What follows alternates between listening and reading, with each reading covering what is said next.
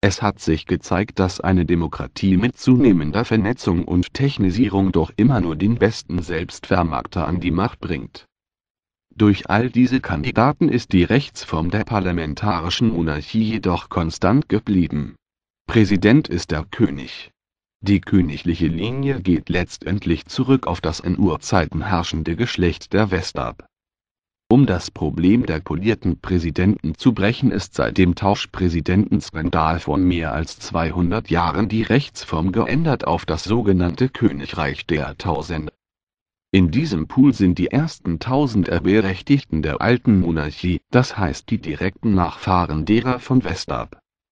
Der so intronisierte König die Königin ist sowohl Staatsoberhaupt als auch Regierungschef und ferner Oberbefehlshaber der Streitkräfte des Ra-Systems Stürzen kann ihn theoretisch nur eine Dreiviertelmehrheit der Tausend, falls dieser zusätzlich mit zwei Drittel des Parlamentes übereinkommt.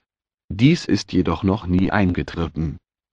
Das Auswahlverfahren des jungen Regenten nach dem Tode des Alten ist ausgeklügelt.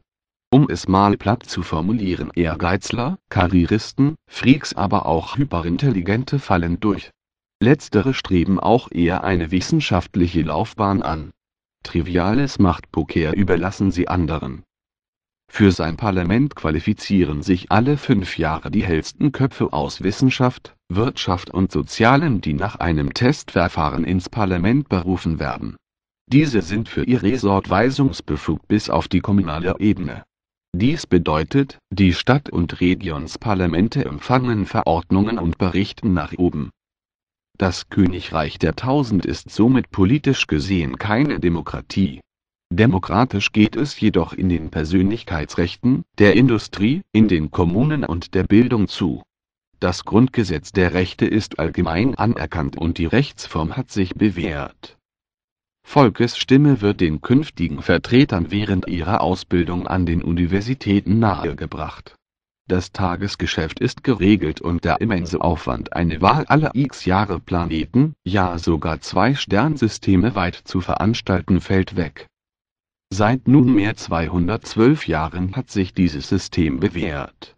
In der Halle der Könige stehen wahre Persönlichkeiten, in Stein gemeißelt. Im entfernten Indie-System ist unabhängig der Lebenszeit des Königs immer ein ranghohes Mitglied der Tausend als Präsident von Königsstadt, so der offizielle Titel, zeitlebens an der Macht. Die darunter liegenden Strukturen gleichen sich. Man vernachlässigt etwas das entfernte System, weil von uns aus die Eroberung des Alls erfolgte. Das Zentrum der Macht ist hier.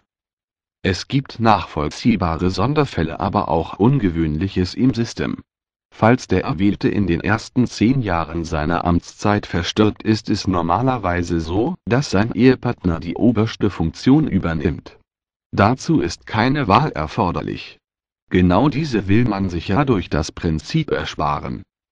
Als zweite Person im Staate ist man zudem nah an der Macht und genießt das Vertrauen der Instanzen.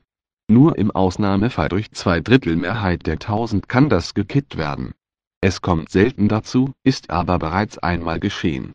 Diese Furie wollte niemand ganz vorne sehen. Etwas eigentümlicher ist, dass nur der Regent selbst und seine Kinder den Namen von Westarp tragen dürfen.